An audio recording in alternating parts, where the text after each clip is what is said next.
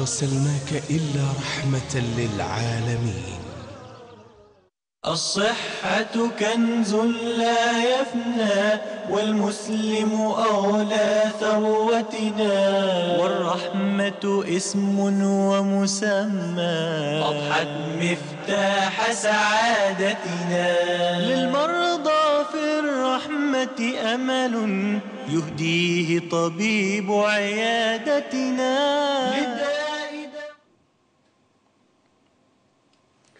بسم الله الرحمن الرحيم السلام عليكم ورحمة الله وبركاته وأهلا بحضراتكم في حلقة جديدة من برنامج عيادة الرحمة من قناة الرحمة الفضائية إن شاء الله الموضوع بتاع النهاردة هو عن هشاشة العظام موضوع بيهم كتير قوي أو فئة كبيرة قوي من, من الناس وحتى الناس اللي ما عندهمش هشاشة مهتمين بالموضوع وخايفين لا يجي لهم هشاشة آم، الهشاشة اسمه منتشر في مصر بهذه الطريقة لكن في بعض البلاد الأخرى العربية آه، ساعات يسمى ترقق العظام أو يسمى وهن العظام. وفي كل البلاد هو اللص الصامت هو اللص الصامت. لماذا سمي بهذا الاسم؟ إن شاء الله هنوضح في الحلقة بتاعتنا. آه، ال- ال- التعريف الهشاشة آه، بتاعة العظام ببساطة شديدة هو هو ده مرض بيصيب العظام وبيجعلها أكثر رقة وأقل س- في السماكة بتاعتها وأكثر مسامية وهشة وعرضة للكسر. هو ده معنى كلمة هش. هش يعني عرضة للكسر. فهشاشة العظام هي أنها أكثر تعرضا للكسر. طيب في م... يعني دايما مرض تاني بيشتبه مع هشاشة العظام ويبقى الناس ما هيش ع... مش قادرة تقول هي ترى اللي عندي ده هشاشة عظام ولا لين عظام؟ آه الحقيقة المرضين الاثنين آه قريبين من بعض قوي في النتائج ولكن مش قريبين في الأعراض ولا قريبين في التشخيص ولا قريبين في طريقة العلاج. عشان كده لازم يكون في التفريق ما بين المرضين آه يكون واضح. الحقيقة دورت كتير إزاي أقدر أقرب الموضوع للمشاهد. لقيت طريقة أرجو إنها تنال القبول بإذن الله. إذا قلنا واحد بنى بيت. بعد ما بنى البيت عمله وليكن على 20 عمود. في كل عمود 20 سيخ حديد جدلا. كل ما هو بيرتفع بال, بال يعني بالبيت بالأدوار وهكذا المفروض إن ال- ال- العدد الأعمدة وكمية الحديد داخل الأعمدة تتحمل هذا البناء. طيب إذا جه هو ساب نفس عدد الأعمدة وراح مقلل الحديد بدل ما هم 10 أعواد في كل عمود خلاهم بدل ما هم 20 خلاهم 10 يبقى كده الشكل العام ما زال زي ما هو. التخانة بتاعت العمود قدامي هي هي. عدد الأعمدة هو هو. لكن كمية الحديد اللي موجود جوه العمود قلت للنص. طيب ولو جه واحد تاني؟ لا ما عملش كده. ساب في كل عمود هم هم ال 20 عم ال 20 عود من الحديد. وبنفس التخانة طبعا. طيب بس خلى بدل عدد الأعمدة 20 خلاهم 10 الحالتين دول هم بالظبط الفرق ما بين لين العظام وهشاشة العظام. هشاشة العظام قدامي آه، آه، عدد الأعمدة واحد ولكن كمية الحديد اللي موجود جوه قلت. تمام؟ عدد آه، عدد الأعمدة موجود زي ما هو لكن كمية الكالسيوم اللي موجود عفوا دي دي آه، دي لين العظام. إذا إذا كمية الحديد اللي موجودة بالنسبة للعمود قلت فده لين للعظام. الشكل العام واحد لكن كمية الكالسيوم اللي موجودة فيه قليلة فالعظمة تبقى ضعيفة لكن الشكل العام كويس. ترقق العظام النسبة واحدة النسبة واحدة هي هم هم نفس الكمية الكالسيوم نفس كمية الحديد نفس كمية الحديد الموجودة في كل عمود لكن عدد الأعمدة قل إذا فقل عدد الأعمدة أو رقت كثافة العظام باحتفاظها بنفس لو خدنا مقطع هنلاقي نفس نسبة الكالسيوم لكن كمية الأعمدة دي قلت شوية. فهو ده الفرق ما بين لين العظام وهشاشة آه، العظام. بمعنى إن إذا إذا كان عيان مشكلته هي إن الكالسيوم اللي بيدخل جوه جسمه للعظام قليل ما عندوش امتصاص للكالسيوم سواء لنقص في فيتامين د أو لمشكلة في امتصاصه فهنا العيان ده هيشتكي في الكبار لين العظام وفي الصغيرين بنسميه الكساح. كويس؟ لكن لو هو في آه، آه، في في حالة هشاشة العظام اللي بيحصل إن هو الكالسيوم نسبته بتتسرق من العظم تدريجيا والعظمة بتبتدي ترق ترق ترق بدل ما هي تخانتها مثلا مثلا سنتي تبقى تخانتها آه، 8 مللي 7 مللي 6 مللي وهكذا فتبقى أكثر قابلية للكسر. طيب آه، إيه أهمية ال- الموضوع دوت وهل المفروض إن كل الناس تهتم بيه ولا لأ؟ الحقيقة إحنا بنضرب مثال بنقول آه، مثال بالشعر الأبيض. إذا جالنا آه، آه، واحد عنده أكتر من 50 سنة وبعدين عنده شعر أبيض في راسه. هل دوت حاجة تقلقنا ونقول لا ده لازم الراجل ده يتعالج؟ لا طبعا. ده شيء طبيعي وده طبيعي بالنسبة لسنه إنه بداية وجود شعر أبيض في راسه في السن ده أمر مقبول. لكن لو جالنا شاب أقل من 20 سنة وبدأ يطلع له شعر أبيض في راسه هنا الناس كلها بتقلق يقول لك في حاجة غير طبيعية دور على علاج. لأن هنا حصل للم... لل- للشخص دهوت حاجة مش الطبيعي إنها تحصل له في سنه. المثال ده بيدخلني إلى أنواع هشاشة العظام. هشاشة العظام نوعين. نوع طبيعي بالنسبة للسن زي الشعر الأبيض اللي بيجي بعد سن الخمسين والنوع دوت نوع حميد ولا خوف منه. والحمد لله هو ده النوع الأكثر. ده اللي موجود في معظم الناس. ونوع تاني ما هوش حميد. النوع اللي يجي بدري في سن قبل سن ال 40 سنة أو قبل سن ال 50 سنة ونبتدي نظهر أعراض لهشاشه العظام هنقولها بعدين. مع ده شيء غير طبيعي لأن ده مش السن اللي المفروض يظهر فيه آه، هشاشة عظام. وده اسمه النوع الثانوي وده النوع الأكثر خطورة وده النوع اللي يستحق العلاج. الحقيقة نسبة انتشار المرض هو منتشر. آه، خاصة النوع اللي هو آه، الأولي اللي هو الطبيعي بالنسبة للسن فهو منتشر. النوع ده هو المفروض إن إحنا آه، نبتدي تشخيصه في بعض الناس اللي نحس إن هم عندهم بعض الحاجات اللي تشجع على وجود هشاشة عظام. زي إيه؟ آه، واحد مثلا عنده عامل وراثي في في عيلته آه، يعني كان عندهم هشاشة عظام. واحد آه، قليل الحركة قليل التعرض للشمس. آه، عاداته ال- اليومية وعاداته الصحية آه، مش متناسبة مع الشخص ال- اللي هو ذو الصحة الجيدة. يعني ما بيمارسش رياضة ما بيتعرضش للشمس ما بيخرجش وينزل كتير آه، آه، الستات اللي بيقعدوا في البيوت كتير خاصة الكبار دول بيبقوا أكثر عرضة آه، لهشاشة العظام. آه، وعفوا معنا اتصال اتفضل. معانا أم يوسف من الغربية. السلام عليكم يا دكتور. وعليكم السلام ورحمة الله وبركاته. أنا دكتور بس باجي اقف الاقي رجلي بتوجعني كده من عند الركبة ومن تحت. آه، آه، ألم عند الركبة. الم عند الركبة وما باجي أقف كتير أحس بوجع في رجلي في كعب رجلي من تحت. والكعب. في نفس المكان آه. في نفس ال- ال- الناحية يعني الركبة والكعب في آه، نفس الناحية. أيوه الركبة والكعب في نفس الناحية. سيادتك عمرك قد إيه يا أم يوسف؟ 22 22 سنة. والشكوى دي بقى لها قد إيه؟ بقى لها حوالي 8 اشهر 8 شهور كعبك بيوجعك وسايباه آه 8 وركبتي كده ما باجي أقف كتير بس بقعد ما باجي أقف كتير بعمل حاجة في المطبخ وبعدين اقعد هل سيادتك بتطلعي سلالم كتير؟ بطلع آه. طيب آلام الكعب أكثرها بالنهار ولا بالليل؟ بالنهار وبالليل. ما يعني- باجي امشي ما باجي امشي بحس ان هي بتوجعني واقوم قاعدة. تمام. سيادتك ما أخدتيش أي علاجات للموضوع ده؟ لا لا ما خدتش خدت حقن وبعدين بطلتها. طيب نرد عليك إن شاء الله. آه، أم يوسف كانت بتقول إن هي عندها آلام في في الركبة والكعب. آه، الحقيقة ممكن الاثنين يبقوا مرتبطين ببعض وممكن ما يكونوش مرتبطين ببعض. آه، الركبة غالبا هيكون سببها اللي هو المجهود الزيادة وطلوع السلالم كتير خاصة إنها يعني آه، يعني سنها لسه صغير بدري إن إحنا نقول لها إن يكون في خشونة دلوقتي. بس هي المشكلة هي ما عملتش أي فحوص آه، ممكن تساعدنا في الربط ما بين الشكوتين لأن اللي ممكن يربط ما بين الاثنين وجود آه، ارتفاع في حمض البوليك في الدم اللي هو آه، مرض النقرس. آه، الحالات اللي زي كده بيكون عندها ارتفاع في حمض البوليك وبيكون ارتفاع في سرعة الترسيب.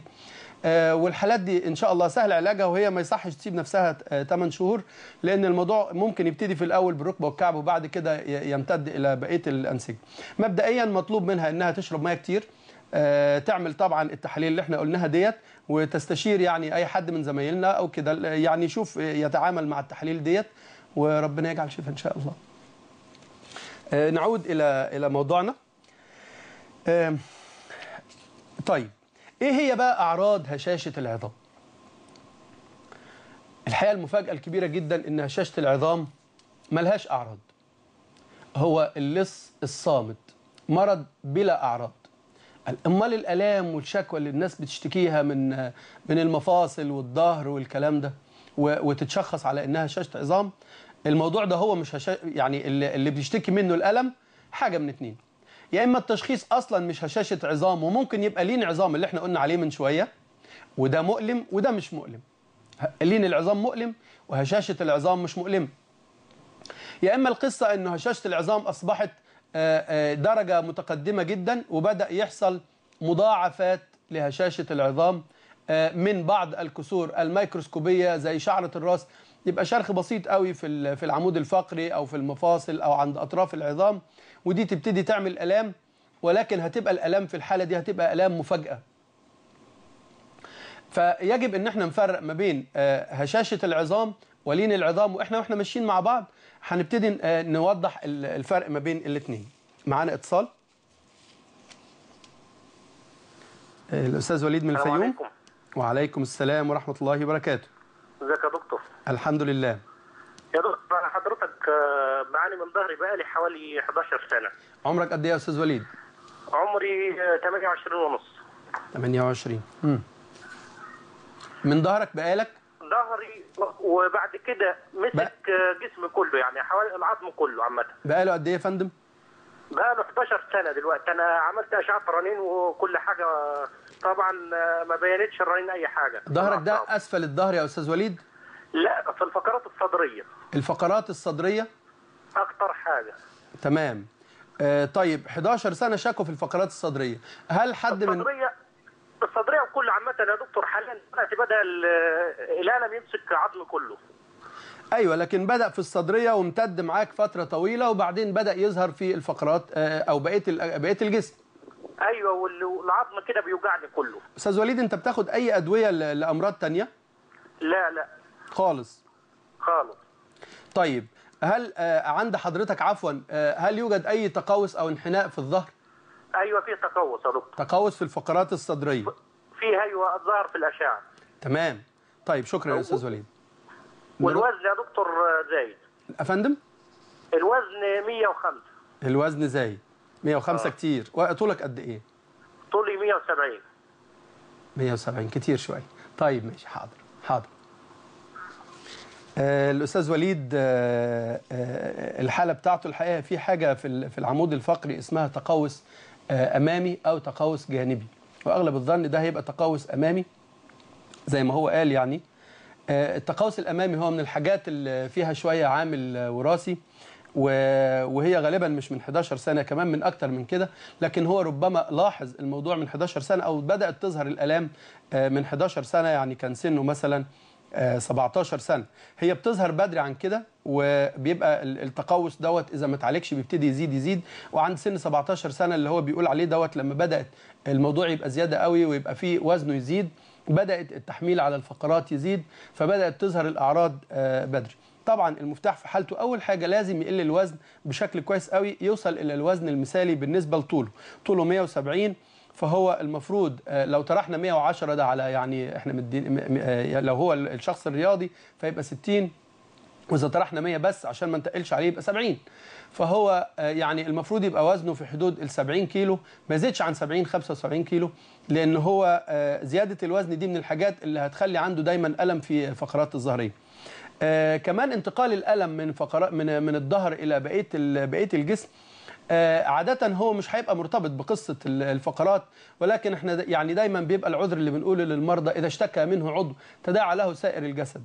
إذا ال- الميكانيكية بتاعة العمود الفقري معتمدة على شكله فإذا كان العمود الفقري منتصب وواقف وفيه اللي هو الكيرفات الطبيعية بتاعة الشخص الطبيعي في الحالة ديت آه، هيبقى المريض أو الشخص العادي هيبقى ما عندوش أي آلام وتوزيع الوزن متوزع على رجليه الاثنين متوزع بطريقة سليمة آه، وهكذا. لكن هو غالبا هيكون المشكلة هنا هو يعني آه، عدم توزيع الأحمال بشكل كويس سواء لزيادة الوزن أو للتقوس الموجود عنده بيخلف آلام في بقية المفاصل لكن الحالة دي محتاجة العرض. آه، معانا اتصال؟ آه، الأخت منى من الشرقية. اتفضلي يا أخت منى. أخت منى من الشرقية. يا أخت منى. طيب. آه آه نرجع لموضوع هشاشة العظام. آه الأخ وليد على فكرة آه بالمناسبة آه لما ظنين آه جات الأخت منى تاني. طيب أخت منى من الشرقية. أيوه السلام عليكم يا دكتور. وعليكم السلام ورحمة الله وبركاته. يا دكتور؟ أنا حالتي بقالي بقالي سنين عندي هشاشة عظام جامدة قوي هشاشة عظام. عندك كم سنة؟ عندي 44 سنة يا دكتور. 44 وبعدين- سنة؟ آه، هشاشة العظام دي من إمتى يا أخت منى؟ عشان هرمون الاستروجين من طب بس 20 بس بالراحه اسمعيني بس طيب. طب اسمعيني طب اس- استئصال المبيضين ديت. وبعدين؟ أنا مش سامعك أنا مش سامعك أنت بتقولي بسرعة. نعم. اسمعيني بقى لو سمحتي. حضرتك آه. 44 سنة. آه. الشكوى بقى لها قد إيه؟ بقالي أنا ما اكتشفتهاش الا بقى من خمس إحنا. الهدف عفوا الهدف من الاتصال أنا مش هعالج حد بالتليفون. أنا ولكن الهدف بس اسمعيني يا أخت منى. وبعدين باخد علاج كتير أخت منى اسمعيني. من فضلك. الهدف من من الحلقة هو تثقيف كتير وباخد الأيام دي فيزافون بتاع دوت فيزافونس وكده وبعدين طيب، أسمعك أنا بتخلص بقى. خالص. هل هي بتخلص يا دكتور لو سمحت ولا هي الدنا موجودة؟ طب قوليهم كلهم تاني وأنا هسمعهم وهكتب وراكي وبقول بعد ما تقفلي. ماشي الله يصلح حالك قولي. حضرتك تاني من فضلك. بقول بشتكي لحضرتك بقول لك إن أنا عندي بقالي هشاشة عظام من زمان خالص. وبعدين نتيجه نتيجة إيه؟ نقص هرمون اللي هو الاستروجين. تمام. وبعدين الهشاشة ديت عندي جامدة ومأثرة على عظمي والحوض الحوض بتاع المفصل بتاع الحوض دوت والقعدة من ورا. تعبانة خالص يا دكتور. عملت كل ما أعمل أشعة تطلع مثلا أشعة فيها مثلا يقول لك التهابات أو من الهشاشة. ويقول الهشاشة ما بتروحش ما بتضيعش. وبقالي خمس سنين دكتور بعاني وبعاني وباخد أدوية وعلاج على طول. باخد فيزافونس وباخد كالسيوم وباخد حاجات كتيرة يا دكتور ومفيش فايدة. وكل ما أعمل وكل سنة بعمل فحص لها. نعم. الأشعة بتاعت الهشاشه ديت اللي بعملها كل سنة بعملها يا دكتور. وألاقي برضه نفس النتيجة هي هي وكل طيب سؤال، أنت ليه عندك هرمون إحنا ناقص؟ نحافظ عليها ما تزيدش. يا أخت منى. فهل هل هي تتعالج ولا هي الدنا كده؟ تتعالج إن شاء الله. أخت طب- منى ما هو سبب نقص هرمون الأستروجين عندك؟ هل شايلة المبيض آه، حضرتك؟ طب ماشي آه طب ماشي. هل دوت أنا لسه مش مش قادره اسمع التلفزيون عشان موطياه؟ طب في في سؤال تاني حضرتك عاوز تسأله لي؟ يا أخت؟ منى يا أخت منى. نعم. من فضلك. حضرتك ليه هرمون الاستروجين عندك ناقص؟ حضرتك هل شلتي الرحم قبل كده؟ ألو؟ لا المبيضين. آه عفوا شلت المبيضين. المبيضين. عاملة استئصال للمبيضين. عاملاه بقالك قد إيه؟ آه. من إمتى؟ آه. من إمتى؟ 20 سنة. من 20 سنة. امم آه، 20 سنة. طيب أنا متشكر. خلاص. آه في سؤال تاني حضرتك؟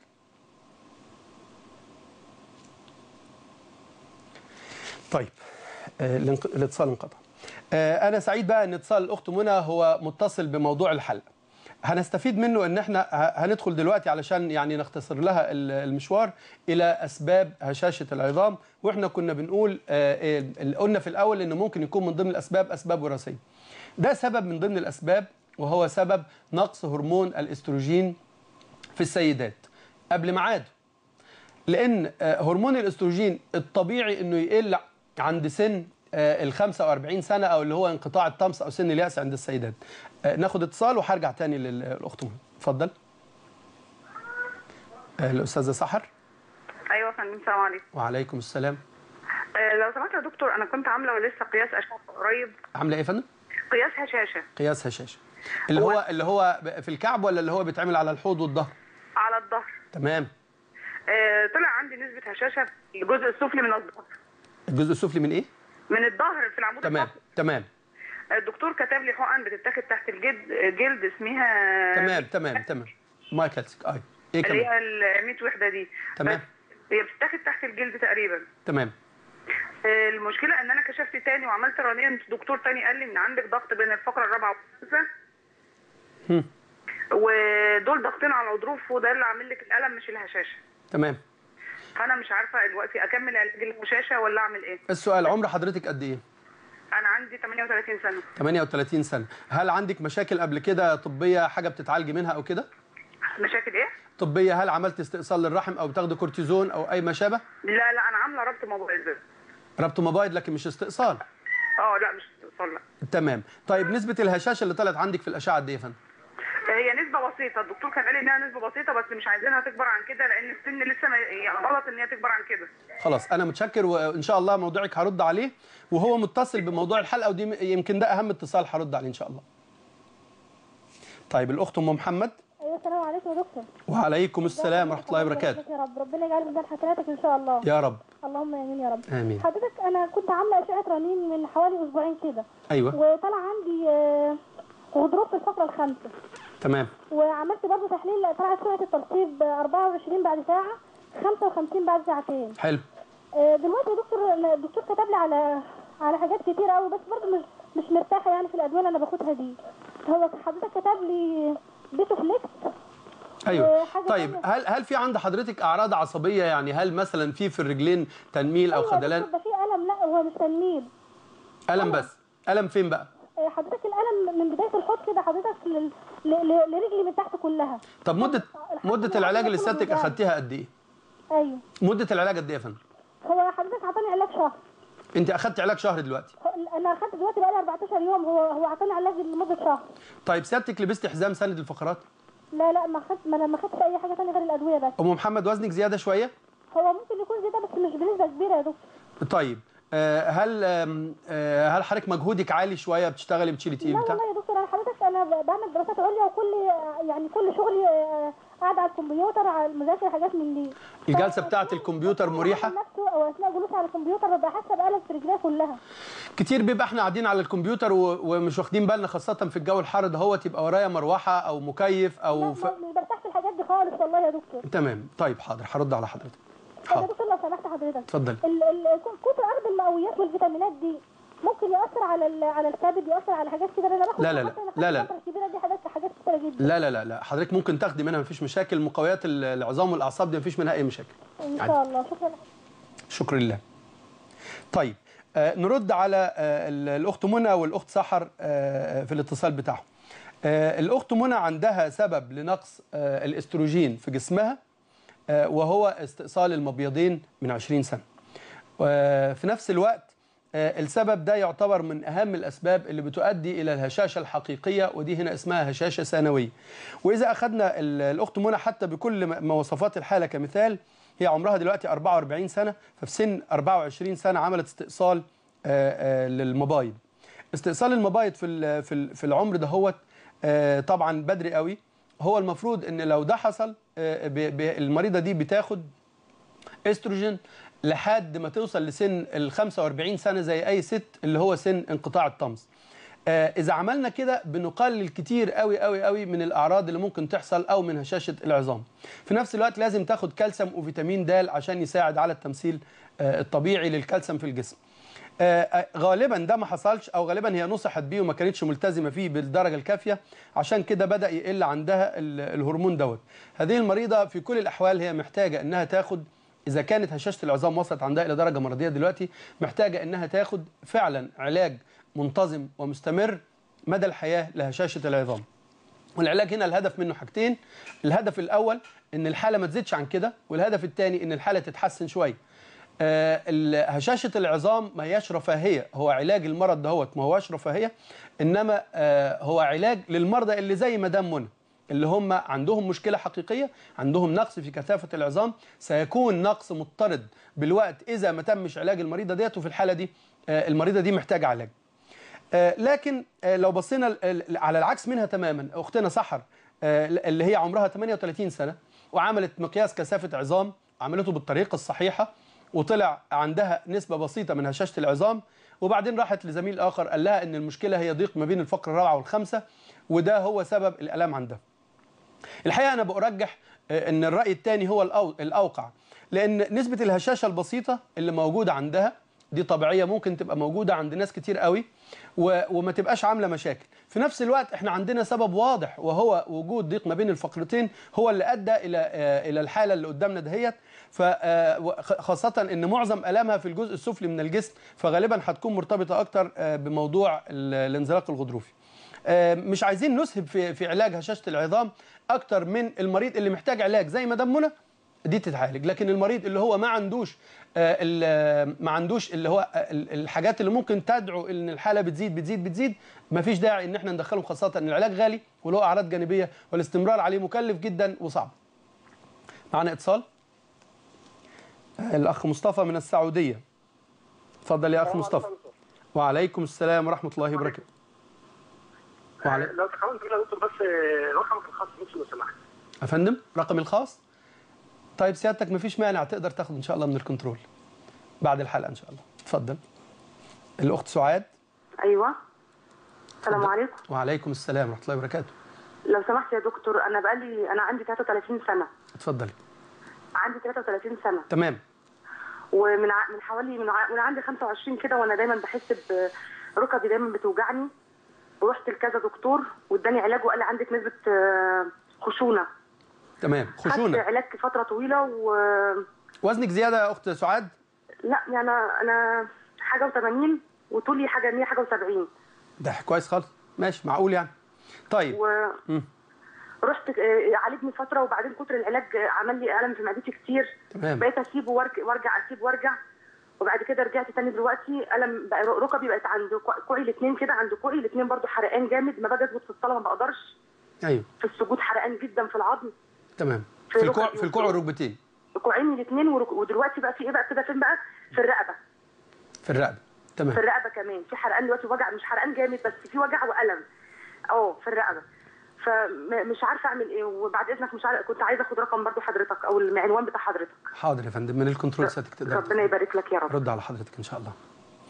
آه الأخ مصطفى من السعودية. مصطفى آخر أم نفس المصطفى؟ اتفضل آه مصطفى آخر. اتفضل. أيوه. اتفضل يا أخ مصطفى. ماشي. السلام عليكم. وعليكم السلام ورحمة الله وبركاته. السلام عليكم. وعليكم السلام ورحمة الله وبركاته. اسمعني يا أخي من؟ اسمعني من التليفون من فضلك يا أخ مصطفى. أنا من التليفون بسمعك ح- بسمع طيب حضرتك. اتفضل. أنا والدتي عندها شاشة وتعبت معاها قبل ما أجي من مصر. يعني دكاترة كتير في الفيوم ودتها لدكاترة كتير والشاشه دي مش لاقي لها علاج مين قال إنها عندها هشاشه آه، الدكتور خالد عبد الرحمن. لا مش قصدي. لا عفوا أنا مش قصدي الأشخاص أنا قصدي يعني آه، آه، هل هي عندها من الأعراض مثلا عملت فحوص آه، قالت إن فيها هشاشة عملت اشعاعات كلام من كده زي ما إحنا هم بنقول. عملوا اشاعات اشاعات عادية. بعدين كتب لي على اشعه الرنين الدكتور فعملتها ولسه هيوديها لهم الأربع. بس مش عارف الرنين طب ليه الرنين في الربع على الركبة؟ لا ربما الرنين على الركبة آه، آه، أنت حضرتك يمكن تقصد خشونة. كتير قوي بيبقى مشتبه عليه الأمر بين الهشاشة والخشونة. أنت تقصد مين آه. أنت تقصد إيه؟ هي في الركبة يعني الركبة طيب. الاشعاعات في الركبة. قالوا لها شاشة عظام. لا يا مصطفى في الركبة تبقى اسمها آه، خشونة الركبة. ده الاسم مشتبه برضو كتير قوي من الناس آه. بتتلخبط. طيب حاضر. هنقول العلاج طيب. حاضر. طيب معانا الأخت أم محمد من جنوب سيناء. السلام عليكم ورحمة الله وبركاته. وعليكم السلام ورحمة الله وبركاته. لو سمحت عايزة تليفون حضرتك الخاص يا دكتور لو سمحت. حاضر يا فندم. آه، من الكنترول إن شاء الله يدول حضرتك. طيب نجمل بسرعة بقى كده إجابات آه، آه، للأمر. آه، كان معانا ال- الأخت سعاد بتشتكي من الركبة والأخ مصطفى والدته بتشتكي من الركبة. آه، آه، نقول إن آه، خشونة الركبة إذا كانت آه، في واحدة زي والدة الأخ مصطفى فهي ممكن تكون من الخشونة من النوع الأولي برضو زي نفس قصة الشعرة إن الشعرة البيضاء طبيعية بالنسبة للسن الكبير ومش طبيعية بالنسبة للسن الصغير فهي في والدته مقبولة. ولكن طبعا إذا كانت الدرجة شديدة أو آه، من النوع الثانوي أو مزمنة أو ما شابه مش معنى إنها اوليه إنها مش بتتعالج. بتتعالج لكن بتاخد علاج بسيط بيتناسب مع الحالة وممكن يبقى عنده اللزوم بحيث إن إحنا ما نؤديش إن ي- يحصل مضاعفات على بقية أعضاء الجسم من الكلى والكبد والمعدة وما شابه. ولكن إذا كانت الخشونة زي في حالة أختنا سعاد وهي يعني عمرها 33 سنة وبتشتكي بقى لها سبع سنين وعلشان تبقى الأعراض دي خشونة في الركبة وبعدين بداية في في الكوع وفي الرقبة غالبا هي بتبذل مجهود عالي جدا أو يكون عندها عامل وراثي لأن الخشونة تظهر في السن المبكر دهوت فهي محتاجة غالبا علاج آه، منتظم من الحاجات اللي بتساعد على بناء الغضاريف زائد إنها محتاجة إن الوزن يخس شوية وإذا كان في آه، بعض ال- ال- التظبيط للحياة اليومية زي تقلل من طلوع السلالم ما تتنيش رجلها تحت منها كتير ما تقعدش مربعة ما تشيلش تقيل وتطلع بيه سلالم آه، إلى بعض هذه التعليمات. الأستاذ مصطفى والأستاذ والأم محمد عايزين التليفون هياخدوه. أي حد عاوز التليفون هياخده مفيش مشاكل. آه، آه، عايز أقول آه، نقطة كانت مهمة قوي إحنا النهارده بنشرح هشاشة العظام مش علشان نعلم الناس يعالجوا هشاشة العظام إنما عشان نقول للناس إمتى تقلق إن هل هيجي هشاشة عظام ولا لأ؟ هل أنا من المرضى اللي عندهم استعداد لوجود هشاشة عظام ولا لأ؟ لأن بقى في آه، الحقيقة آه، كتير قوي آه، يعني إلا من رحم ربي بيبدأوا يدوا للعيانين أو يدخلوهم في الرعب بتاع هشاشة العظام وإن أنت لو ما اتعالجتش هتتكسر وما شابه. زائد إن في نوع من أنواع الفحوص اللي بتتعمل في العيادات دلوقتي اللي هو حاجة اسمها التي سكور اللي هو اختبار كعب الرجل. بيحط كعب المريض بيحط كعب رجله في جهاز والجهاز ده بيقرأ لنا قراءة القراءة دي على أساسها بنقول العيان ده ممكن يبقى عنده هشاشة عظام ولا مش ممكن. ولو ناخد بالنا من كلمة ممكن يكون عنده هشاشة عظام.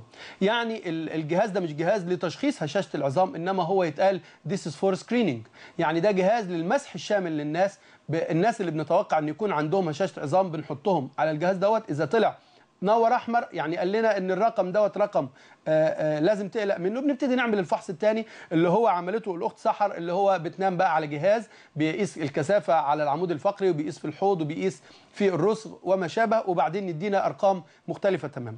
إيه، ما نعتمدش ابدا على جهاز. يعني ما ينفعش إذا رحت لحد وعملت فحص كعب الرجل وبعدين كتبت كتب لك علاج هشاشه عظام فده إحنا ما مشيناش بالطريقة العلمية السليمة. لأن أنت ممكن في الآخر يطلع ما عندكش. آه، فيجب إن إحنا آه، يعني يكون تشخيص هشاشه العظام آه، يعني مبني على أسس علمية. معانا اتصال؟ الأستاذ محمد؟ أم محمد عفوا. أيوه السلام عليكم يا دكتور. وعليكم السلام ورحمة الله وبركاته. حضرتك كنت عايزه أسأل حضرتك في حاجة. اتفضلي. آه أنا بشتكي من كعب رجليا بس الألم في رجلي بيبقى زي ما يكون خدل ما بقدرش يعني لو عايزه أتمطع شوية بخاف لا يجيني عضلة. مدة الت... لا أنت حضرتك بتقولي عضلة فين؟ في السمانة يعني؟ آه من لا مش في عضله السمانة. أمال؟ ده من بداية الفخذ من فوق لكعب رجليا. ولما عملت أشعة على كعب رجليا قال لي في شوكة عظمية. تمام. فأنا مش عارف هل ديت يعني غضروف ولا بداية هشاشة ولا إيه بالظبط. أنا قبل كده كنت كشفت عند دكتور واداني كورتيزون واحدة. في الكعب؟ آه. طيب حاضر هرد عليك. حاضر. آه، الأخت آية؟ ألو؟ أيوه يا فندم. السلام عليكم. وعليكم السلام ورحمة الله وبركاته. لو سمحت عايز أسأل على ممكن تعلي صوتك يا أخت آية؟ حاضر. والدتي عندها رجليها الشمال وجعاها تمام. وظهرها وعندها خشونة على الرقبة. وظهرها وعندها خشونة على الركب على الرقم فممكن حضرتك تقول لي كده هتعمل إيه؟ حاضر يا فندم. كذا مرة وبرده ما فيش حاضر يا فندم حاضر حاضر.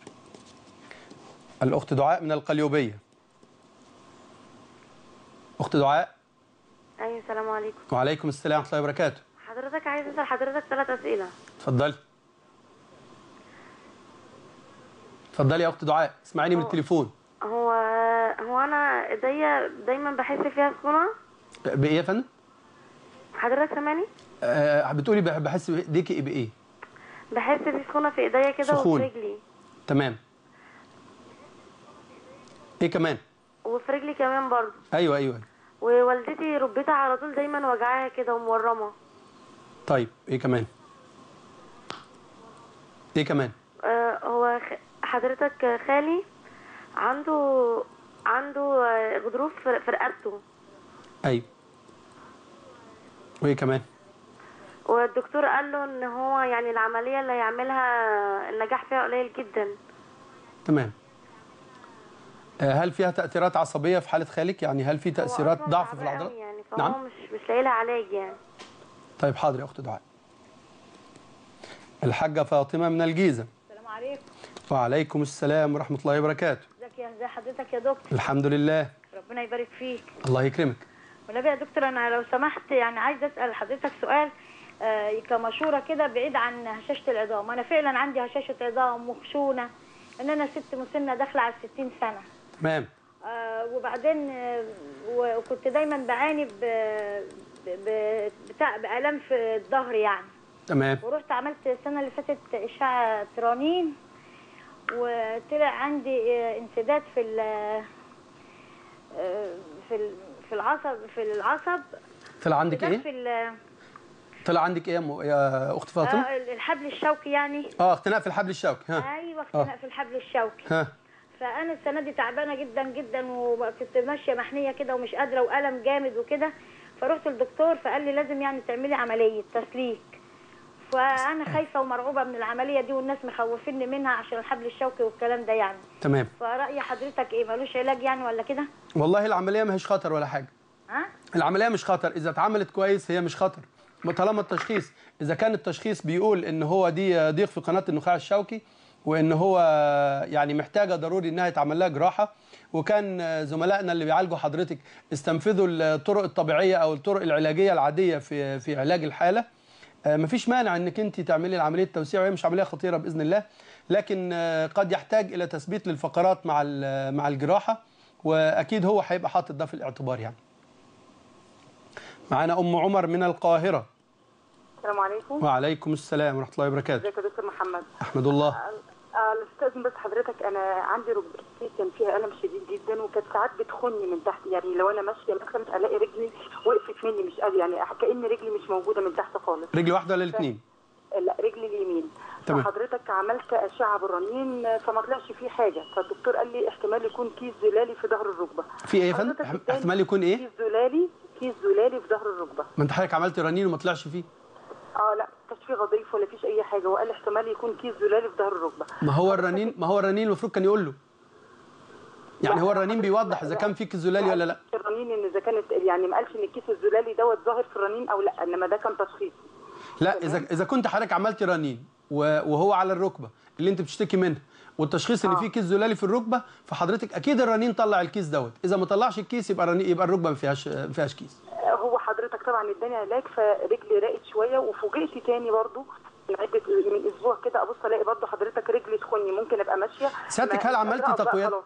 آه، يا أخت نعم. أم عمر هل عملتي نعم. تقويات لعضلات ال- الفخذ الأمامية والخلفية لا لا لا ما عملتش أي حاجة غير هي أشعة الرنين بس طيب أنا أعتقد إن لو عملتي تقويات لعضلات الفخذ الأمامية والخلفية إن شاء الله ده الموضوع ده هيساعد جدا والسمانة كمان خاصة ان إن الشكوى بتاعت حضرتك آه، طلعت الركبة كويسة ما طلعش فيها حاجة يعني ما طلعش فيه حاجة لا في الغضاريف ولا في الرباط الصليبي ولا في الكلام ده. وحضرتك ما بتقوليش إن حصل إصابات قبل كده أو التواءات أو كده. فإذا عملتي بعض التقويات إن شاء الله تستفيدي جدا من هذا الأمر. جزاك الله خير يا دكتور خيرا محمد. جزاكم خيرا جزاكم الله يكرمك. طيب آه، آه، نحاول بقى نج- نجيب على بعض أسئلة ال- المتصلين. آه، معانا آه، آه، عفوا الموضوع الأخت أم محمد من جنوب سيناء كان عندها آلام في الكعب. وحد قال لها إن في شوكه عظمية وإن هي الشوكه العظمية دي أخذت فيها حقنة موضعية وبيجي لها كرامبات آه، في العضلات الخلفية. الشوكة العظمية مش مرض محدش يمشي ورا إن هو آه، عايز يعالجها والحقنة اللي هي اخدتها مش هتخلي الشوكة العظمية تدوب. الحقنة ديت لأن هي عندها حاجة اسمها التهاب في بطائن القدم أو plantar fasciitis هو ده علاجه. آه، ساعات ناس بت- بتعمل الحقن الموضعية ديت وإن كان في لها بعض المحاذير في بعض المرضى. مش كل مريض نقدر نديله الحقن دوت وأنا مش من الناس اللي بيحبذوا الحقن الموضعي. آه، ولكن هو دي طريقة من طرق العلاج وموجودة وموصوفة. آه، الكرامبات اللي عندها ربما يكون عندها نقص في الكالسيوم والمغنيسيوم فإذا أخذت أقراص فيها آه، بتجمع ما بين ال- الكالسيوم والمغنيسيوم وموجودة في السوق ممكن تطلب من أي صيدلي هيديها لها. هتساعد قوي إن الكرامبات دي تقل. أختنا آية من القاهرة كانت بتقول ان عندها آلام آه، إن والدتها عندها آلام آه، في أسفل الظهر وعندها آلام في الركبة وآلام في في الرقبة. وفي أكتر من آه، من من حالة قالت نفس الكلام آه، ال- زي ال- الأخت فاطمة من الجيزة قالت إنها عندها هشاشه وعندها خشونة وعندها آلام أسفل الظهر. إحنا قلنا حكاية إن هو ضيق النخاع وقلنا إن هو ده تصليحه عادي لكن آه، بنجمل مع آه، أختنا آية آه، آه، حكاية إن والدتها عندها خشونة منتشرة في آه، أكثر من مفصل. الحقيقة الخشونة هي الخشونة اللي بتيجي في السن الكبير من الأمراض اللي هي بتحتاج إلى دواء إلى فترات طويلة. آه، في خطأ شائع. الناس بتقول إن كل أدوية العظام مسكنات. آه، أدوية العظام مش كلها مسكنات بالعكس هي مضادة للالتهاب ومضادة للروماتيزم. ومفيش مانع إن يبقى جزء منها مسكن لأن المريض بيبقى بيتألم. لكن مش معنى كده ان إن نعرض عن الدواء خالص ونقول إن هو مسكن. لكن طبعا الاستمرار عليه لفترات طويلة خلينا نتعرض للأعراض الجانبية فيجب انتقاء النوع المتناسب مع كل مريض. آم آم عايزين نقول انه إنه مش كل مريض عنده آه، خشونة هياخد علاج لمدى الحياة ولا كل مريض عنده خشونة هياخد علاج شهر ويخف هي آه، مرض من الأمراض المزمنة زي الناس اللي عندهم ضغط وزي اللي عندهم سكر وزي اللي عندهم هشاشة اللي هي موضوع الحلقة بتاعنا. اللي مش عارفين نقول نص. آه، آه، ال- ال- الخشونة مرض مزمن فيجب إن نتعامل معاها كمرض مزمن. بمعنى أنا دايما أسأل لما يجي عيان يقول لي أنا خدت علاج للخشونة وما راحتش. أقول له طيب لو لو حد عنده سكر وأخد علاج للسكر بيروح بعد شهر؟ يقول لا ده مرض مزمن ما بيروحش. طب لو واحد عنده ضغط أخد علاج للضغط وتناه منتظم خالص خالص وبعدين جه في شهر راح مبطل قال أنا كده خفيت ما بقتش تعبان. بتقول له أنت إيه؟ تقول له ارجع خد العلاج. عشان المرض ده مرض مزمن. الأمراض المزمنة بتحتاج لعلاج مزمن قصادها ولكن إحنا أميز بقى من الضغط ومن السكر. آه، السكر ما عندوش هزار. فوت يوم هتحصل لك مشاكل في نفس اليوم. الضغط شوية شوية بيسامح. ممكن تفوت يوم ولا اتنين وما يحصلش مشاكل. وإحنا بنسامح أكتر منه خالص. آه، يعني خشونة المفاصل أو التهابات المفاصل بتسامح كتير خالص. رغم إنها مزمنة ممكن مريض يقعد ياخد يقعد مثلا شهر كامل ما ياخدش أدوية وبس يحافظ على نفسه بعض الشيء وما يبقاش عنده مشاكل والحالة ما- بتزيدش ولا حاجة. ولكن مش معنى كده انه إنه هيرجع اذا إذا تعب تاني يقول إن إزاي أنا خدت علاج وشوية وبعدين رجع رد لي تاني. هو الطبيعة بتاعه المرض كده إن هو بيزيد وبيقل بيزيد وبيقل. فإذا المريض حافظ على نفسه أكتر فترة ممكنة إن شاء الله الأمور تعدي وما يبقاش فيه آه، الام مبرحه يعني هرجع تاني للأخت منى والأخت سحر. من الشرقية علشان دول أكتر يعني آه، يعني يخصوا الموضوع. وأعتقد إن إحنا ردينا على يعني معظم الحاجات ال- آه، اللي هي فيما عدا ال- ال- الموضوعين دول. دول اللي يخصوا آه، موضوع الحلق موضوع هشاشة العظام. طيب آه، هل كل بقى مريض عنده هشاشة عظام؟ المفروض إن إحنا آه، آه، يعني ن- نبتدي نعالج وندي علاج مستمر مدى الحياة وما شابه؟ لا بنبتدي نصنف العيان. هل هو الخشونة الهشاشة اللي عنده دي هشاشة نتيجة هشاشة أولية ولا هشاشة ثانويه هشاشة أولية اللي هي الطبيعية بتاعة السن فممكن نقول له إن هو يحسن من طريقة آه، آه، طريقة أكله يزود في أكلات معينة اللي هي زي منتجات الألبان. معلش في اتصال كمان. أم سامح. أيوه يا أم سامح. آه، دكتور محمد يا فندم. أنا سني 50 سنة. أهلا وسهلا. أنا بتعالج من رجليا من بقالي أكتر من من من يجي 10 سنين. بس أنا عملت الاشاعات اللي أنت على قلت عليها بتاعه الهشاشة بتاع العظام. و- و- وعندي عندي هشاشة وعندي خشونة بس أنا عندي رجليا ايديا ومفاصل ايديا ومفاصل رجلي دايما وجعاني. يا أم سامح أنت عندك آه، حاجة غير العظام مثلا؟ آه، آه، هل في شكوى أخرى غير العظام؟ أنا آه، كنت سكر أو ضغط كان عندي دهون على الكبد. بس اتعالجت منها. غير دهون الكبد. بس قرحة في المعدة قالوا لي من علاج العظام. طيب ماشي. طب آه، آه، أنا باخد العلاج وبس مش آه، ما برتاحش. دايما آخد أخلص العلاج والدكتور كتب لي على حقن موضعية آخدها في الركب فدكتور تاني خوفني منها. قال لي لا غلط. طيب هوضح لك نقطة الحقن الموضعية دي. طيب آه، أخت أم محمد بن سوهاج. السلام عليكم. أبو محمد عفوا. أيوه لو سمحت يا دكتور. اتفضل في آه، عندي أختي عايزة تسألك آه، سؤال. في عندها دقدقه في ال- في المفاصل. في, في أنهي مفاصل؟ المفاصل بتاعت جسمها كله. هي والدة أربع قيصريات عاملة عملية أربع مرات قيصرية. مفاصلها بتطقطق يعني؟ آه وصباعتها لما تيجي تمسك الحاجة توجعها؟ وفي سؤال لأمي لو سمحت بس ما تقفلش. اتفضل. ماشي؟ اتفضل آه حضرتك امي عملت آه حوالي عشر مرات مجالس كهرباء على رقبتها وذراعها. أيوه. أسأليها بس لو سمحت نسألها بس عشان هي جنبي اتفضل يعني رقبتها ودراعها بيوجعوها يعني؟ آه اللي هو السؤال ده خاص بام حضرتك. عملت عشر مرات وأشعة على رقبتها وذراعها. طيب وال- واللي عندها الطقطقة دي مين؟ وعندها خشونة حضرتك في الرقبة. الأولانية اللي عندها طقطقة دي مين؟ دي أختي حضرتك. أختك. طيب اتفضل. حاجة تاني؟ آه آه، لو سم... أيوه اساليها بس لو سمحت ثواني بس نسالوها يا أبو محمد. آه. آه، أختك عمرها قد إيه؟ أختي عم- عمرها حوالي 35 بالضبط 35 سنة. والدة أربع مرات حضرتك قيصري ولدت أربع. الطقطقه دي بدون أربع ألم؟ مرات قيصرية. آه الطقطقه اللي بتحصل في المفاصل بدون ألم؟ نعم. بتحصل الطقطقه دي بألم ولا بدون ألم؟ آه. طيب متشكر حاضر حاضر. الأخت أم حمادة من أسيوط. أخت أم حماد الاتصال انقطع. طيب آه نجيب على الإخوة اللي اتصلوا. آه نبدأ بالآخر. آه أخي أبو محمد بيقول إن آه أخته عندها طقطقة في المفاصل. وده إحنا بنقول عليها crepitus أو أو اللي هم snapping joints اللي هم إن المفصل اللي بيطرقع دهوت هو مش مرض. آه، في ناس هم جسمهم الطبيعي إن هو بيحصل فيه الطقطقة ديت ودي ما هوش مرض في حد ذاته. آه، طالما إن هو ما معهوش آه، آلام مبرحة أو آلام أثناء ال- الحركة ديت. وعادة الطقطقة ده بتيجي مع مع إذا حصل فترة سكون فترة طويلة وبعدها بدأ ال- المريض يتحرك. ودي بيحتاج بس بعض المقويات الغضاريف وطمأنة للمريض مفيش أكتر من كده. لكن إذا كانت الطقطقة دي مرتبطة بالحركة دائما فإحنا ممكن نشك إن يكون في خشونة علشان كده هي بتحتاج آه، إلى العرض. معانا اتصال؟ أم حمادة من الفيوم. يا أم حمادة. السلام عليكم. وعليكم السلام ورحمة الله وبركاته. لو سمحت والله يا دكتور آه، أنا ظهري كده من تحت آه، بيجي فيه ألم وبيشد حاجة مشدوده معايا من ركبتي فبصراحة بيديني آه، ابرتين كده بخلطهم على بعض باخدها آه، بروق. فهل يعني يبقى فيها ضرر على معدتي ولا كده؟ عمرك قد إيه يا أم حمادة؟ 31 سنة. ووزنك زيادة ولا طبيعي؟ يعني آه، مثلا 72 ولا 71 طيب ومجهودك ال- ال- اليومي عادي ولا زيادة؟ لا زيادة. إحنا ناس يعني فلاحين وكده. أعانكم الله. طيب حاضر. حاضر. معانا أمة الله من القاهرة. السلام عليكم. وعليكم السلام ورحمة الله وبركاته. لو سمحت يا دكتور كنت عايزة أسأل بس والدتي عندها خشونة في الركبة شديدة فالدكتور طلب منها تاخد خمس حقن خدت خمس حقن فيها. في الركب؟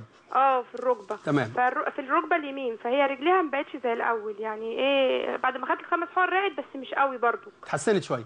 شوية آه وعندها الركبة الشمال برضو الدكتور قال لها محتاجة ثلاثة ثلاث حقن يعني. طيب حاضر. أه وبقول لحضرتك يا دكتور بالنسبة لرقبتها عندها خشونة في فقرات الرقبة ما بتقدرش ترفع ايديها اليمين. ما بتقدرش يعني إيه؟ هل في ضعف في العضلات ولا اليمين من رقبتها ما تقدرش ترفعها لفوق. ما تقدرش يعني توصل بقى لشعرها مثلا. لا يتهيألي إن آه، حضرتك الحاجة كده آه، موضوع الرقبة بالذات محتاجة تعرض ومحتاجة غالبا رنين على فقرات ال- العنق آه، لاستبعاد إن يكون في ضغط على الأعصاب. أو كده شكرا. طيب نجيب على آه، نجيب على أمة الله وعلى أم سامح. آه، كان عندهم موضوع مشترك وهو ال- الحقن الموضعي في الركب. الحقن الموضعي في الركب بسرعة. نوعين. نوع قديم وما عادش حد المفروض يعمله. في ناس بتعمله لكن المفروض إن ما حدش يعمله خلاص وهو الدكاترة اللي كانوا بيحقنوا كورتيزون. الكورتيزون في في المفاصل ممنوع. ما عادش حد يعمل الكلام ده خالص وأصبحت تعتبر يعني من الجرائم إن حد يعمل كده إلا ما ندر من الحالات مش هتكون أنت العيان دوت. آه، ال- النوع الثاني من الحقن اللي هو آه، كتير بيدوه دلوقتي وهو آه، ال- المادة أو السائل الزلالي أو اللي اسمه الهيالورونيك أسيد أو اللي هو ال- الحمض اللي هو المادة ال- ال- الزيت ببساطة اللي بيلين المفصل. وده مسموح ولكنه آه، مش كل المرضى هيتحقن لهم ال- المادة ديت بتعتمد على الدرجة اللي عندها ال- الخشونة. فهو يتحقن للدرجة الأولى أو الدرجة الثانية لكن أكتر من كده الدرجة الثالثه أو الدرجة الرابعة مش هيلاقي تحسن. عشان كده أمة الله بتقول إن والدتها أخذت خمسة وما تحسنتش وده وارد إن يكون تكون هي الحالة كانت درجة أكتر من كده. وقال إن هي محتاجة ثلاثة في الناحية الثانية نفس الكلام عموما هو هو حقنها مش هيضر لكن يجب إن إحنا ما ننتظرش منها فائدة عالية إلا في الحالات اللي هي بدري قوي آه، اللي ممكن تستجيب. لكن الحالات المتقدمة الدرجة الثالثه أو الدرجة الرابعة من الخشونه آه، مش هتستجيب كويس للموضوع دوت. آم سامح قالت إن هي آه، عملت مقياس كثافة عظام وإن هي من عشر سنين عندها هشاشة وبتتعالج منها. إذا كان مقياس كثافة العظام زيادة بدرجة شديدة. ففي الحالة ديت مضطرين إن إحنا ننتظم على آه، أدوية لعلاج هشاشه العظام. آه، و- وال- وال- يعني كل وقت مثلا كل ست شهور كل سنة بنعمل هذا المقياس تاني وبنقارنه بما سبق ونشوف هل الحالة بتتطور للأفضل ولا لأ. زائد إن إحنا ممكن نعمل فحوص وندور على الأسباب اللي أدت إلى هذه الدرجة من الخشون من الهشاشة ونعالجها. آه، نقدر ناخد بسرعة كده إيه الأسباب اللي ممكن آه، تؤدي إلى موضوع ال- هشاشة العظام عشان يبقى الناس استفادت من الحلقة. قلنا في الأول موضوع عامل الوراثة. الناس اللي ما بيتحركوش كتير. طيب ال- قلة الحركة ممكن تكون على الجسم كله وعلى آه، آه، وعلى جزء من الجسم بس. هنرجع للنقطة ديت بعد الاتصال إن شاء الله. الأخ صالح من من الأردن. أستاذ صالح من الأردن. السلام عليكم. وعليكم السلام ورحمة الله وبركاته. السلام عليكم. وعليكم السلام ورحمة الله وبركاته. ازيك يا دكتور محمد؟ الحمد لله. ازيك يا دكتور؟ الحمد لله. آه أنا عندي ايدي الشمال. أيوة بسمعك. من فضلك اسمعني من التليفون. ماشي. ايدي الشمال بتنمل على طول. تنميل في إيدك الشمال. على طول آه. يعني وأنا بصلي وأنا واقف وأنا قاعد بتنمل على طول. طبيعة وعملت صورة قالوا لي عندك شد في العضلة ال- بتاع الرقبة محملة على الفقرات. تمام. يعني آه، لقوا لقوا في الفقرات آه، ضيق في الفقرات يعني مؤثر على الأعصاب تقصد؟ لا شد عضل محمل على الفقرات بتاع الرقبة. طيب طبيعة عملك إيه؟ أنا والله شغال في مطعم. عملك إيه في المطعم؟ يدوي يعني؟ بتعمل حاجات آه يدويه هو يده واقف على البسطه ببيع سندوتشات بلف وين تمام تمام تمام. طيب آه، عملت آه، آه، حاجة اسمها آه، آه، اختبار لتوصيل العصب؟ رسم أعصاب يعني؟ لا ما عملتش بس أنا عملت فحص روماتيزم وفي طيب. لا من ف... والسكر طلع سلبي. آه كله كويس. طيب من فضلك لو تقدر تعمل آه، آه، حاجة اسمها رسم عصب و... أو تخطيط عصبي ما أعرفش هيسموها في الأردن عندكم إيه آه، أو هو اللي هو nerve conduction studies لعصب الإيد الشمال عند الرسغ مكان ما أنا بشاور كده. آه، وح... وهشرح لك ليه. طيب ماشي. طيب. الأخت عزة من سوهاج. السلام عليكم. وعليكم السلام ورحمة الله وبركاته. لو سمحت عندي ثلاث أسئلة. بسرعة من فضلك. أول سؤال عمتي عندها عملت أشعة أشعة رنين. أنا مش سامع من فضلك علي صوتك فعمل لها ضعف في ايديها آه، ضعف في حركة الإيد وخلى ايديها بقت منملة. طيب من فضلك علي صوتك يا أخت وال- والفقرات الفقرات اللي عندها الوجعها الرابعة والخامسة والخامسة والسادسة. مفيش ست جبت الستة دي منين؟ فقرات الرقبة ولا فقرات القطنية؟ نعم. قطنية ولا رقبة؟ لا في الرقبة آه رقبة. ماشي في ست. ماشي okay. وعم... وفي أشعة رنين هم اللي يعني عملت أشعة رنين فقالوا كده تمام. إيه كمان؟ وعندي ست عندها خشونة في الرقبة فعملها فجت على دراعها فعملها ضعف برضه في الإيد يعني. خشونة في الرقبة وعاملة ضعف في الإيد. أي في الدراع ال- الأيسر. دي الجدة. ها؟ الجدة مش كده؟ أيوه. تمام. وعملت عليه 10 مشات كهرباء. طيب حاضر. آه، أخت أم حمادة من أسيوط. اتفضلي يا أخت أم ألو. حمادة. اتفضلي أيوه أيوه يا أخت أم حمادة. السلام عليكم يا دكتور. وعليكم السلام ورحمة الله وبركاته. السلام عليكم. وعليكم السلام ورحمة الله وبركاته. آه لو سمحت يا دكتور عندي والدتي آه لا من فضلك اسمعيني من التليفون وكلميني من التليفون عشان ما, ما نضيعش وقت كتير. طيب انقطع الاتصال. آه طيب. آه عايزين نقول ال- الأخ صالح من الأردن حبيت أفسر له ليه إحنا طلبنا له آه فحص آه أو رسم عصب آه في منطقة الرسغ هو آه أم حمادة عودة الاتصال. اتفضلي يا أم حمادة. ألو؟ ألو. أيوه يا أم حمادة. أيوه يا دكتور. عندي والدتي عندها عاملة عملية الغضروف عندها الفقرة الثالثة والرابعة. ولما تيجي تنام لما تشد رجليها كده عندها ال- عفوا الاتصال اتقطع تاني. طيب أخت منى من الإسكندرية. أخت؟ منى اتفضلي يا أخت منى. أيوه السلام عليكم. وعليكم السلام ورحمة الله وبركاته. آه، دكتور محمد؟ أيوه فندم. أيوه حضرتك اسال سؤال لو سمحت من فضلك الصوت مش سامع. أنا عندي ابني عنده تسع سنين. أيوه. و- وعنده آه، زي عيب خلقي نازل بيه إن هو عنده رجل قصيره ورجل طويله عنده عيب خلقي مش سامع. عيب خلقي إيه؟ أنا آسف. آه أنا آسف. طيب أحمد من الغربية. السلام عليكم يا دكتور. وعليكم السلام ورحمة الله وبركاته. لو تقارنت يا دكتور. ممكن نقول كوجه عام هل مثلا تناول منتجات الألبان اللي هي الكالسيوم لمشتقاتها طبعا كالأسماك والبيض والكلام دوت مع المشي مع تجنب الأمور اللي هي بتكسر الجسم زي المياه الغازية. ده بيجنب الإنسان من هشاشه العظام كوجه عام ولا في أمور. يا فندم فتح الله لك. آه، من أحسن بقى الاتصالات ما سمعناه من أخي أحمد من الغربية. السلام عليكم. لأنه لم يسأل لنفسه وإنما سأل للجميع.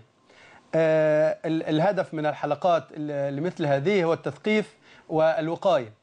آه، هو بيقول هل منتجات الألبان والطبيعة اليومية آه، السليمة في ممارسة التمرينات الرياضية و والتعرض للشمس وعدم الثبات على وضع واحد فترة طويلة. هل دي من الحاجات اللي بتساعد على الوقاية من هشاشة العظام؟ أيوة صح. هي دي من الحاجات اللي بتساعد على الوقاية من هشاشة العظام لأن من ضمن الأسباب هو قلة الحركة سواء الجسم كله أو جزء من الجسم. إزاي جزء من جزء من الجسم ما يتحركش؟ آه الناس اللي بنعمل لهم إحنا جبس. لو عملنا جبس أو كبيرة وال- والطرف دوت ما اتحركش فترة طويلة بعد شوية تلاقي الجسم كله كويس والمنطقة دي إذا عملت لها اختبار هتلاقي فيها هشاشة عظام.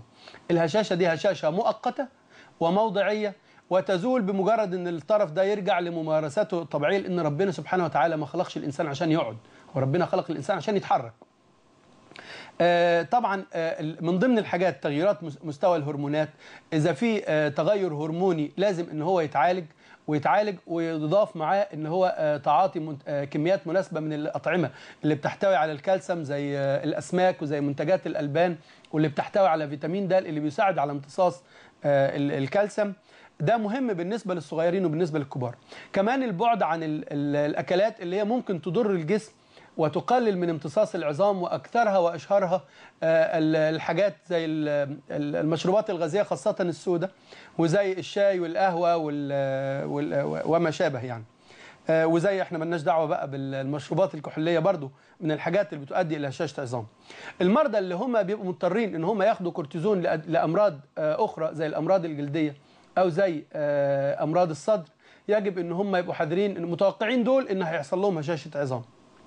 فيجب إن هو يعالج قصادها آه، أو يعمل وقاية من هشاشة العظام بتعاطي كميات مناسبة من الكالسيوم بزيادة عن الجسم الطبيعي وأخذ آه، فيتامين د وعمل فحص دوري لكثافة العظام لعلاج اذا كان هيضطر هياخد الأدوية زي اللي سمعناها في في التليفون من شوية اللي هو الحقن اللي هي تحت الجلد الحقنة اللي كل سنة برشام اللي بيتاخد آه، وتقعد ما بتنامش بعدها لمدة نص ساعة سواء اليومي أو الأسبوعي أو الشهري.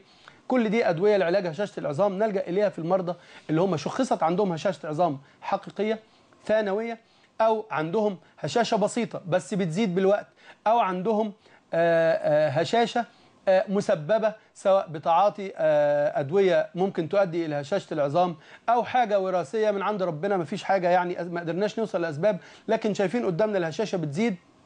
في سن المفروض إن إحنا ما نشوفش فيها هشاشة. في الحالة دي يجب إن إحنا ناخد آه، آه، يعني أدوية كعلاج معنا اتصال؟ أم معاذ من الجيزة. السلام عليكم. وعليكم السلام ورحمة؟ الله وبركاته.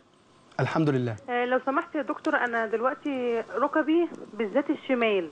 أيوه. بتتعبني جامد خاصة لما بصلي أو بركع وباجي أقوم مثلا من الركوع بحس إن فيها حاجة كده طقت أيوه. وكشفت كتير في موضوع العظام بس أي علاج بتاع عظام في كل حركة يا أم معاذ في كل نعم. حركة يعني حضرتك بتصلي أربع ركعات دلوقتي. في أيوة. الأربع ركعات كل مرة وانت قايمة يحصل الطاقة دي؟ آه بيحصل. طيب سيادتك بتقدري تقعدي جلوس التشهد؟ بقعد آه بقعد كويس جدا. و- ورجلك ما بتعلقش تيجي وقت كده ما تفردش خالص ولا ما بيحصلش؟ لا هو صوابع رجلي بس ساعات بتنمل هي وإيديا بالذات الصابعين الأخرانيين الصغيرين. طيب الطقطقة ديت بتاعه الركبة آه. آه مع مصحوبة بألم ولا طقطقة من غير ألم لا من غير الم اللي حواليك يسمعها ولا ما يسمعهاش؟ لا ما يسمعهاش. انت اللي انت اللي تحسيها بس. آه. طيب آه. وحضرتك لما باخد أي علاج للعظام أي علاج أيوه. آه بيتعب لي معدتي جدا. تمام. طيب. فجزاكم الله خير ربنا يكرمك. يعني توضح. لي بس أعمل إيه؟ حاضر. آه، أم معاذ عندها الام في- عندها صوت في الركبة بتسمعه في كل حركة وده هيجي تحت نفس الموضوع اللي قلناه من شوية وهو ال snapping joints أو اللي هي الطرقعة أو الطقطقه في المفاصل زي اللي هي كانت آه، والدة أربع مرات قيصري وبتطقطق في المفاصل. نفس القصة هو ده مش مرض. الطقطقة اللي أنت بتحسيها طالما هي مش طقطقة مؤلمة أي طقطقة لها علاقة بالخشونة هتبقى مؤلمة. آه كمان هي غالبا هتكون اللي هو ال- السنابنج دهوت وده ماهوش مرض ولا تستدعي علاج. كون حضرتك لما بتاخدي أدوية عظام بيبقى عندك مشاكل انت اللي وصفتيه دهوت مش محتاج أدوية عن طريق الفم. أنت حضرتك ممكن تلجئي إلى الدهانات الموضعية وهي نوعين. نوع هيسكن لك الألم. إذا كان في بعض الألم بعد المجهود وما تربطهوش بالطقطقة. ممكن يكون أي واحد فينا من غير طقطقة خالص بعد مجهود زيادة يحصل بعض الألم في الركبة وشوية راحة وتتحسن. وممكن يكون إن ده بداية آه، ضعف في الغضاريف وإذا عندك مشاكل شديدة في المعدة في أدوية موضعية بتحتوي على المواد اللي إحنا بنديها عن طريق الفم مقوية للغضاريف وتبقى موضعية من غير ما نبقى اديناكي حاجة عن طريق الفم. أو إذا في أدوية تانية آه، ممكن ما تبقاش لها أي أعراض جانبية خالص. هي أغلى شوية يعني من الأدوية الطبيعية لكن بتبقى ملهاش أعراض جانبية على المعدة وموجودة بإذن الله. معانا أم طارق من القاهرة. أيوه. اتفضلي يا أم السلام طارق. عليكم يا دكتور. وعليكم السلام ورحمة الله وبركاته. لحضرتك يا دكتور اتفضل. أنا عندي آه، غضروف كبير في الرقبة ضاغط على إيدي اليمين. في الفقرة الكام؟ مش عارفة؟ الرابعة والخامسة. الرابعة والخامسة. والدكتور قال لي راحة في السرير لمدة 10 أيام وخدي الحقنه دي كل يوم واداني علاج آه، وقال لي لو ما ارتحتيش ال 10 أيام دول تجيني ما تجينيش. آه طيب سيادتك آه آه، يعني لبستي رقبة قبل كده؟ اول لبسني رقبة بلاستيك قال لي هاتي رقبة بلاستيك والبسيها. مدة العلاج كلها 10 أيام بس؟ آه قال لي 10 أيام بس. طيب فصبر جميل يا أم طارق. هو الموضوع محتاج شوية وقت؟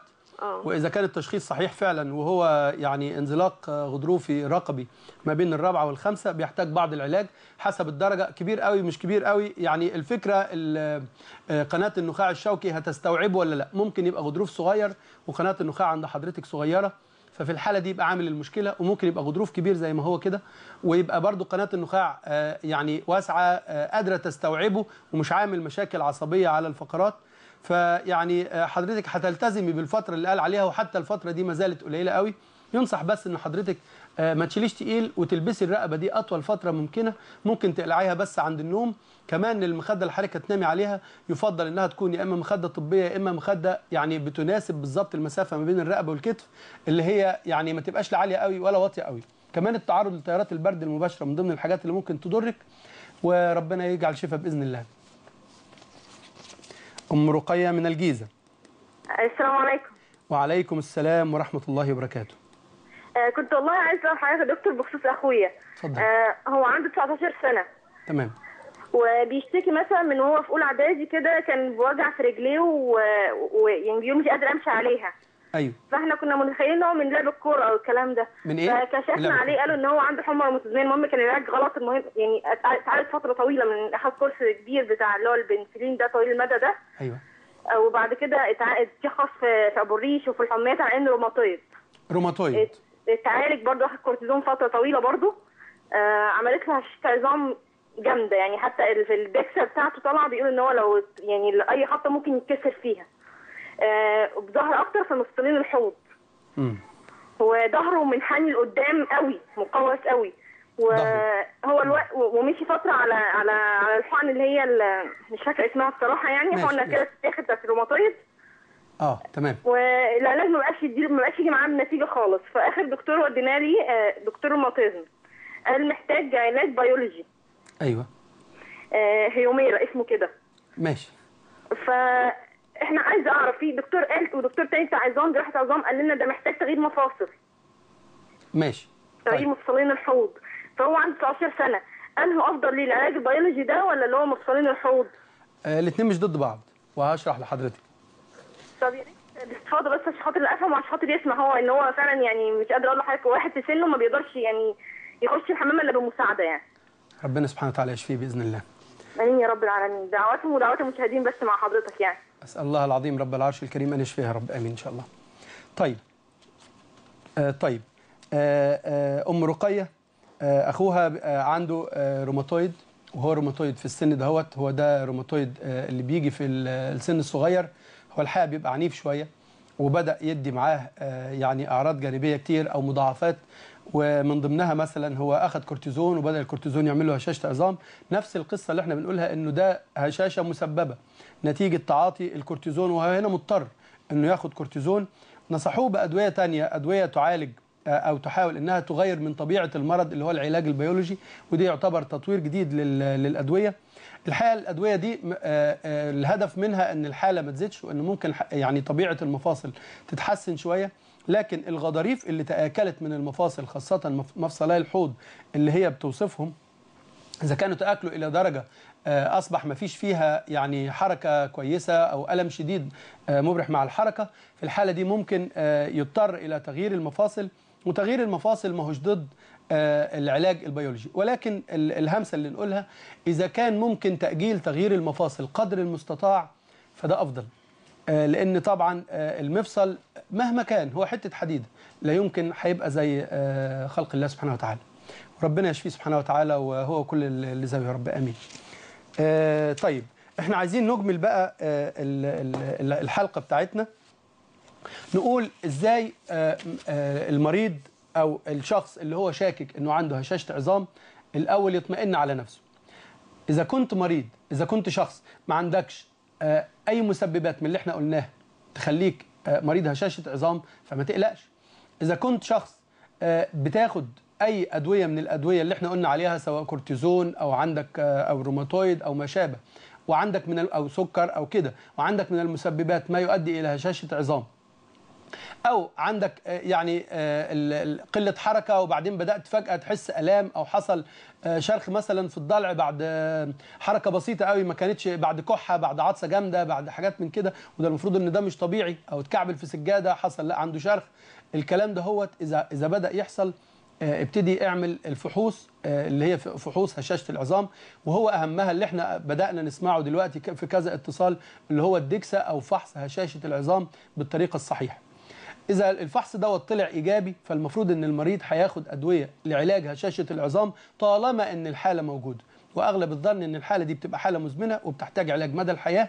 الهدف منه إن الحالة ما تزيدش وإنها تتحسن شوية.